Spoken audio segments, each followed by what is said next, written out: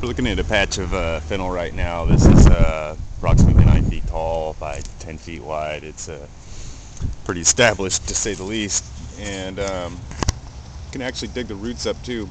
But um, it's a culinary spice. It's a medicinal herb. It's a licorice, fennel, anise. They're all um, similar properties, taste alike, um, used for flavoring. Um, licorice, go ahead. Fennel is uh, Fulcarium, Volcum, something like that. They're all different. It's um, it's actually flowering right now. It's just starting to flower. It's pretty much out of season. You can see when it starts getting uh, different colors. The yellow is uh, um, it's out of season. Um, still edible.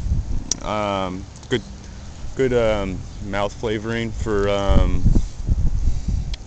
uh, chew substitute. Um, if you uh, chew tobacco or uh, have addiction problems, um, it's a good. Um, you take a good handful of this. I mean, a good pinch or so, and um, just stick it in your mouth like a little bit of chew, and a, it's a good chewing gum type of uh, spearmint, you know, flavor. Um, like I said, it's a medicinal cooking culinary herb. Uh, people cook with it and do a variety of things with uh, it. You could use it as a garnish. You know, it looks like parsley, but it's really flavorful and tasty product. Uh, could be used for um, liquors, and um, they use it for just endless amount of things. But um, grows. It's a poison eater. It uh, actively um, does good stuff to the soil everywhere it grows. It uh, replaces um, bad soil with good soil, basically.